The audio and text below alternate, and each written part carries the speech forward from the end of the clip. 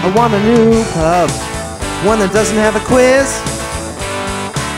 one that won't send me off too far for bland conferences. I want a new pub, one that won't hurt my head, one I can write in a couple of days and still get the nod from Fred. One that won't make me panic, wondering what to write.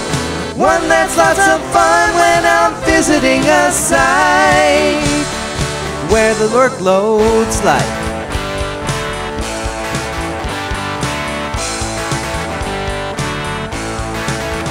I want a new pub, one with tales of pain,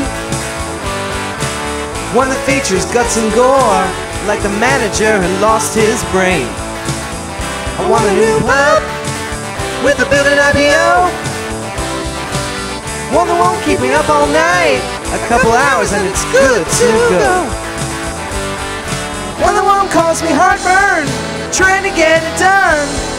One that's never boring and is always, always fun. I just want some fun.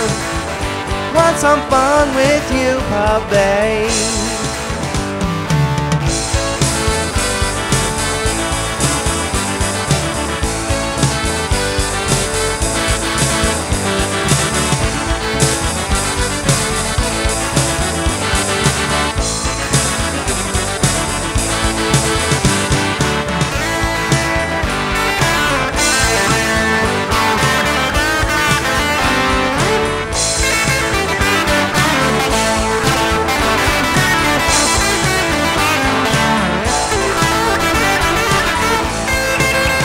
I want a new pub, one that sounds like it should.